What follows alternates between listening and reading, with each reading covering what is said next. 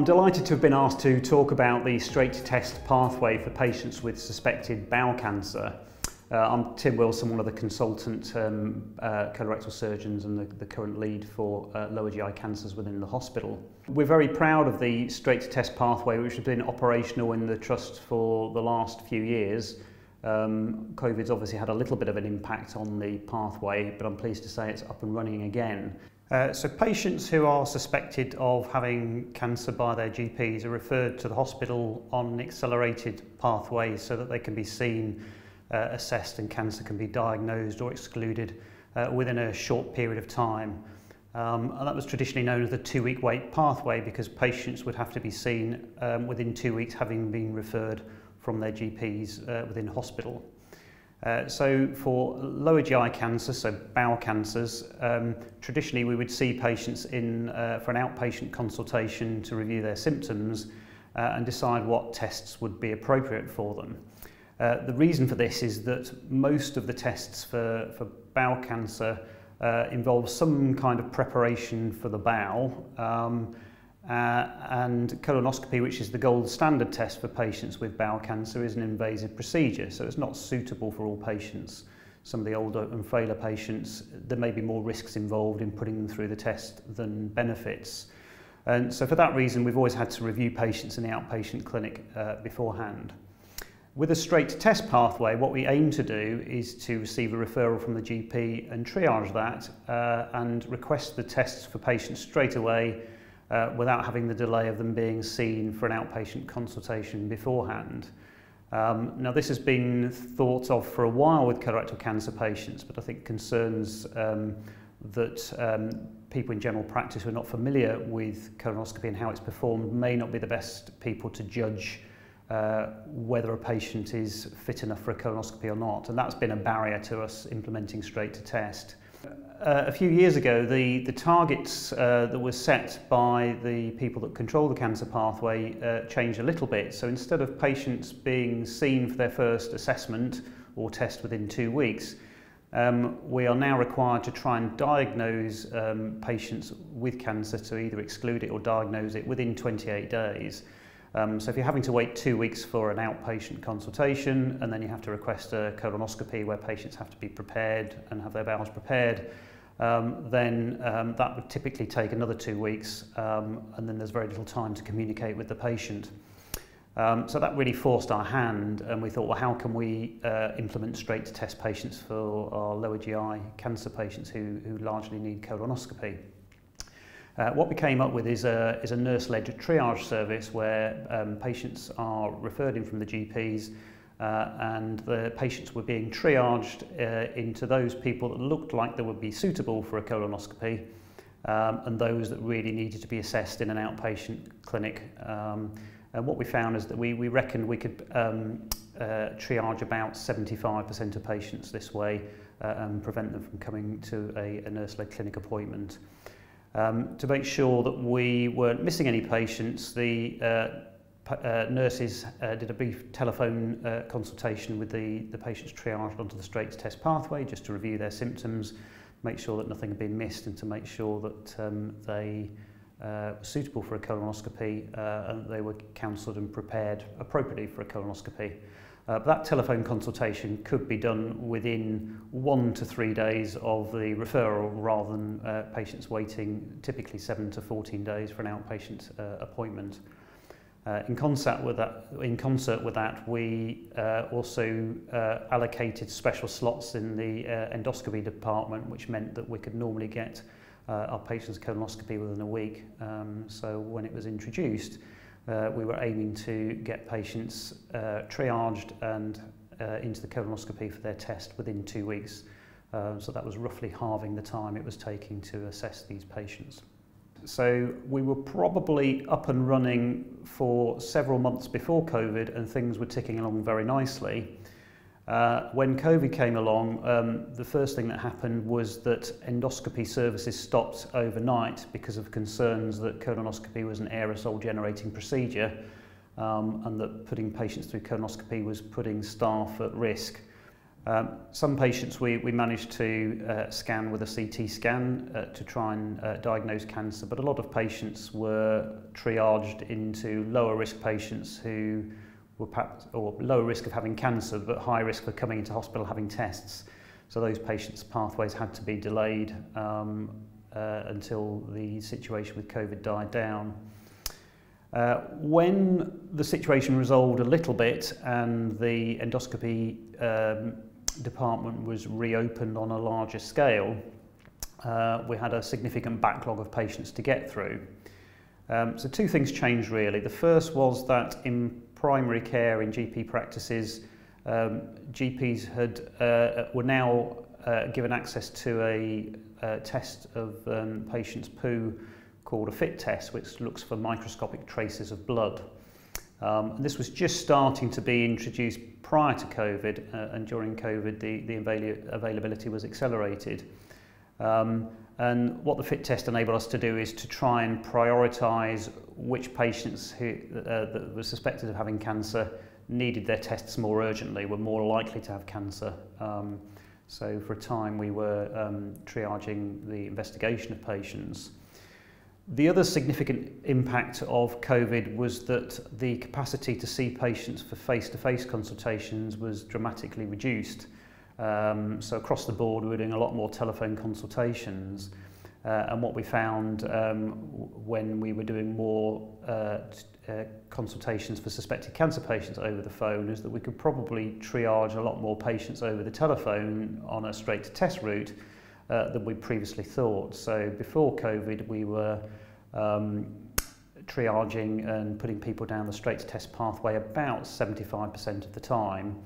Uh, whereas since COVID settled down and the whole pathway's up and running again, um, more than 90% of patients are now having a telephone consultation uh, and we're triaging them over the phone and, and sending them off straight for investigations. Uh, there is still a need to see some patients in clinic if they've got um, uh, uh, an abdomen or a bottom that needs examination or if they have language difficulties. Uh, but now we're seeing that the large majority of patients we can send down a straight to test pathway satisfactorily. Um, so a lot of other cancer pathways um, were doing variations of straight to test anyway. For example, in breast cancer, they have a, um, a one-stop clinic where patients attend for the first consultation, have all their tests there and then. Um, we are um, developing this pathway for patients with upper GI cancers. So some of those patients have had straight to test um, pathways, but we're looking to try and see if we can uh, increase the number of patients with suspected cancers of the stomach and the gullet um, or the liver or pancreas um, for those patients to, to have a, a, a speedier diagnosis and go through a one-stop um, process. Um, so we're currently training um, staff to be able to assess these patients as well. So I'm sure there's definitely other situations um, in which this pathway would be applicable, maybe not just within cancer, but other uh, medical diagnoses where there's a, a need to try and make a rapid diagnosis or um, provide reassurance to, to patients. Uh, the, the pathway is uh, a testament to the, to the hard work and diligence of all the nursing staff and admin and support staff that have been involved um, in uh, running the pathway, but also helping to refine it and make changes so that we've got a very smooth running pathway um, that I think is a fantastic um, resource for the hospital.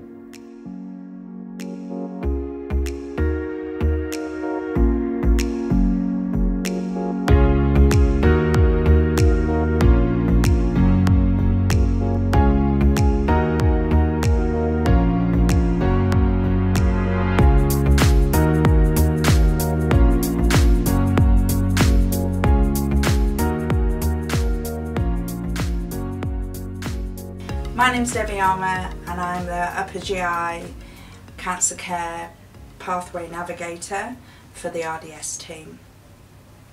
I'm Tracy Christison and I'm the Care Pathway Navigator for the Lower GI team and we both work in endoscopy.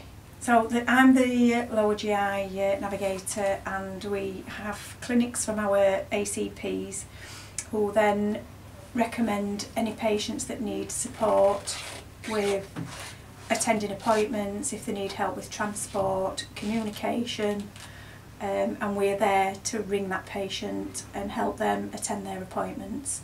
We also follow up um, and check when all their investigations will be and ring the patients again to remind them. This isn't all the two week wait patients, it's just the patients that we think need extra support. Uh, my role's uh, mirrors the same as Tracy's. So our patients come through referred by the GP on a two week cancer suspected pathway. Um, normally they come in as a straight test patient for investigation. Um, some require a face to face clinic appointment and some require a telephone consultation. The patients that we find are vulnerable and need extra support are the patients that we pick up and effectively pull them and support them through the pathway.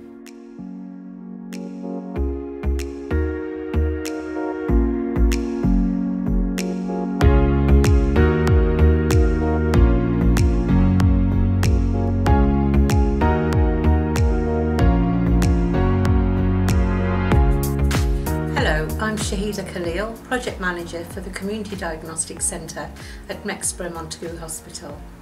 The NHS is set to radically overhaul the way MRI, CT and other diagnostic services are delivered for patients, recommended by a major report to the NHS England by Sir Mike Richards. The Diagnostics Recovery and Renewal Report advises that over the next five years, CDCs should be used to both reduce the post COVID backlog and meet the ever increasing demand for elective diagnostic services. The report adds that any new services that need to be implemented over time requiring significant investment in facilities, equipment and workforce alongside replacing outdated testing machines and all of these must be on a non-acute site. With the aim of providing services in the heart of local communities, the new service model is expected to deliver quicker and easier access to screening and greater convenience to patients. Last year, Montagu Hospital was selected to host one of the community diagnostic centres within South Yorkshire following a £3 million investment from South Yorkshire and Bassetlaw Integrated Care System of which Doncaster and Bassetlaw Teaching Hospitals has received around 230,000 of capital funding so far. Managed as part of a five-year project, the first step was completed in January as mobile MRI and CT units were placed on site following the construction of suitable foundation pads by the Trust's estates and facilities teams. The mobile units provided the ideal solution to the challenges during the planning and development of the new CDC infrastructure. They were an effective means of bolstering capacity at our pre-existing facility at Mexborough Montagu Hospital. The scanners were working throughout winter and into spring, providing a suitable alternative for local residents and particularly those that reside within the Dearne Valley to receive crucial hospital care within a community setting that's convenient to them. Partnership working delivery capability and flexibility of existing good quality estate have been critical factors in successfully delivering the services of the CDC and over 2,500 scans have been completed at the Montagu Hospital Community Diagnostic Centre in Phase 1. Now plans have been developed by the Trust Strategy and Improvement Team and Estates and Facilities with clinical leads to take the project forward into Phase 2. The Phase 2 business case is being submitted in the coming weeks and we are hopeful that it will receive the approve, approval necessary from the regional and national team for further funding. Approval of this funding will enable the work to start on Phase 2 of the project, which includes an endoscopy suite and continuation of CT and MRI with the addition of ultrasound. Diagnostics play a pivotal role in healthcare and we aim to ensure that we improve productivity, maximise efficiency and reduce the capacity and demand gap in the coming years.